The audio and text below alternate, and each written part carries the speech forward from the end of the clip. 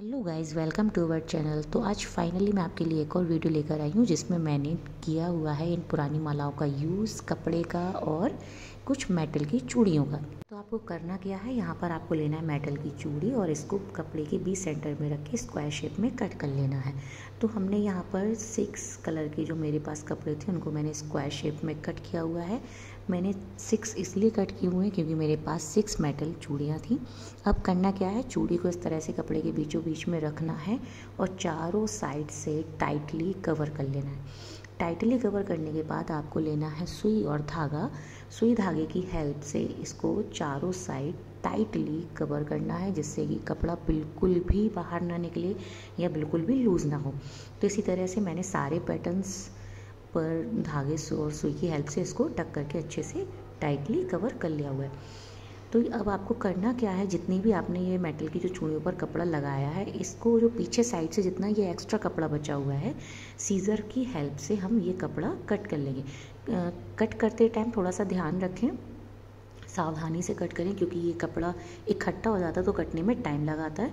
इसलिए आराम से काटें, जिससे कि आपके हाथों में लगे नहीं। इसके बाद जो जितने भी मेरे डिज़ाइन बनी हुई थी तो मैंने सभी को कट करते हुए यहाँ पर एक साइड रख लिया है। तो देखिए कितने प्यारे लग रहे हैं ना।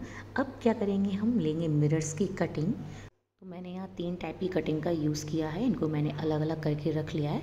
अब हम अपना लेंगे बेंगल बेंगल में आपको फेविकॉल यूज़ करते हुए इन सभी को डिज़ाइन पैटर्न आप बनाते जाएँगे। तो यहाँ पर मैंने क्या किया है? मेरे पास छः बेंगल्स थे। तो छः बेंगल्स में मैंने तीन पर अलग पैटर्न बनाया हुआ है और तीन बेंगल पर मैंने अलग पैटर्न बनाया हुआ है। तो इस तरह से मैंने टू पैटर्न्स बनाए हुए हैं। तो दोनों पैटर्न्स बनने के बाद ये हमारा बहुत ही सुंदर लुक दे रहा था। एक चीज़ आपको और यहाँ पर ध्यान देने वाली बात है कि जब आप फेविकॉल की हेल्प से मिरर कटिंग को चिपका रहे हो तो थोड़ा सा प्रेस करते जाए जिससे कि अच्छे से चिपक जाए। और आपकी जो फेविकॉल हो वो थे थोड़ी सी थिक क्वांटिटी में हो।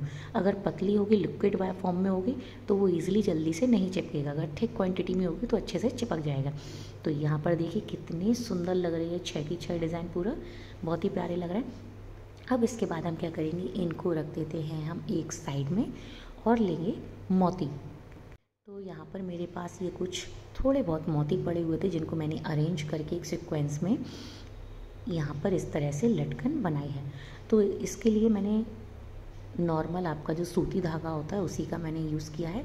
तो अब मैं यूज़ करूँगी मेटेलिक एक्रेलिक कलर का। ये मेरी दुबई वाली फ्रेंड ने मुझे गिफ्ट किए हुए थे। तो इनका मैं बाद में बताऊँगी मैंने क्या किया बट अब भी देखते आगे। तो मैंने लिए हैं पुराने लास्ट ईयर की मालाएँ, इनको मैंने अलग अलग करके पाइपिंग निकाले हैं, फिर मैंने लिया सुई और धागा। और इस तरह से मैंने एक सिक्वेंस में मोती पाइप और फ्लावर्स की कटिंग को अरेंज करती गई। अरेंज करने के बाद इसके बाद बैंगल से बनी हुई डिज़ाइन को यहाँ पर टक कर लेंगे। मैंने एक्रेलिक कलर का यूज़ यहाँ पर बैंगल में चारों साइड किया हुआ है, क्योंकि मेरे पास गोल्डन लेस नहीं थी तो इसे मैंने गोल्डन कलर का यहाँ पर यूज़ किया हुआ है। अगर आपके पास हो तो आप लेस का ही यूज़ करें। मेरे पास वाइट कलर का लेस पड़ा हुआ था तो मैंने सोचा इसकी डिज़ाइन को और ज़्यादा इन्हेंस हो। इसलिए मैंने ऊपर साइड में ये जो वाइट कलर की लेस है, इसको सुई धागे की हेल्प से टक कर लिया। तो फाइनली हमारी बॉल हैंगिंग या डोर हैंगिंग कंप्लीट हो गई है। देखिए, कितनी प्यारी लग रही है ना, बहुत ही सुंदर लग रही है। तो कैसी लगी आपको? कमेंट करके बताएँ लाइक करें वीडियो को शेयर करें और चैनल को सब्सक्राइब करना ना भूलें।